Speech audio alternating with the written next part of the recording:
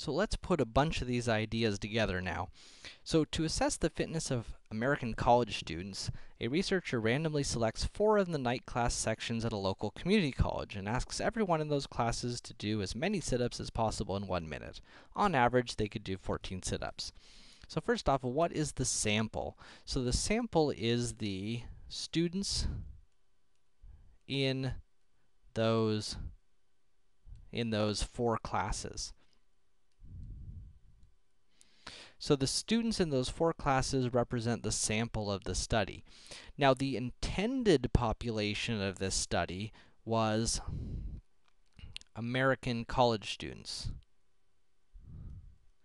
Or at least that was the stated, uh, that was the stated uh, population of the study. Again, the intended study. We'll talk about whether that's actually a good um, population in, in a second. So what was our sampling method? So notice here that they took four classes and asked everyone in those classes to do these sit-ups. So this is an example of cluster sampling.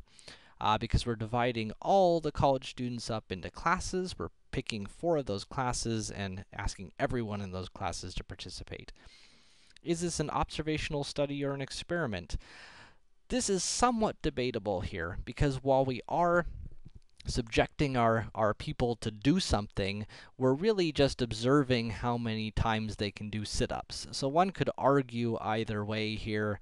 Uh, I'm a little more inclined towards saying that this is an observational study because we're observing how many times they can do sit-ups.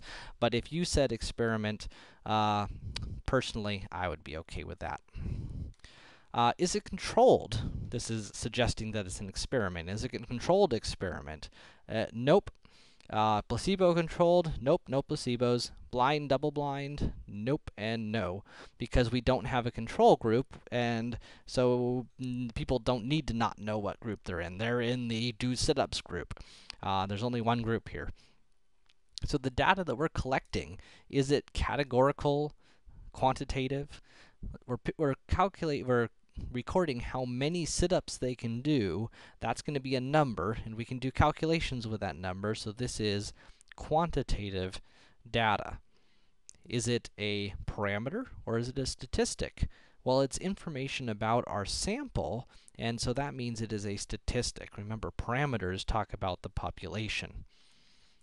Lastly, are there any potential sources of bias in this study? Absolutely.